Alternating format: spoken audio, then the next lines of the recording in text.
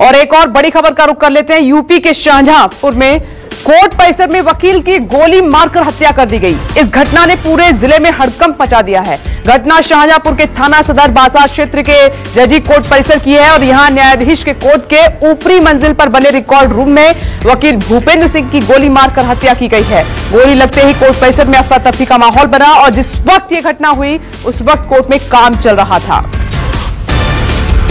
प्रेमा फसाई जो बातें आ रही हैं उनमें ऐसा बताया जाता है कि सुरेश कुमार गुप्ता है। ये भी पहले अभी 2020 में ये वकील हुए हैं।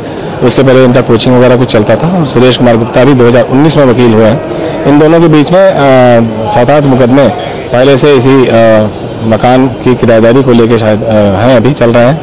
इसी सिलसिले में शायद ये पता भी करने आए थे बाबू से जो सूचना इनको चाहिए थी। और आगे पीएम में जो चीज़ें आएँगी उसके आधार पे और बाकी चीज़ों के आधार पे अग्रिम कार्रवाई होगी।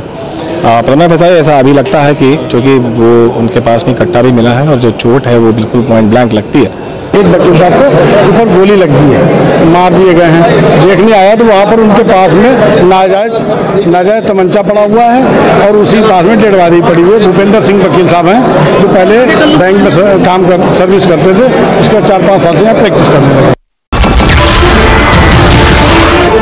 नमस्कार, मैं हूँ मानक गुप्ता। अगर आपको हमारा ये वीडियो पसंद आया हो तो इसे लाइक और शेयर ज़रूर करें।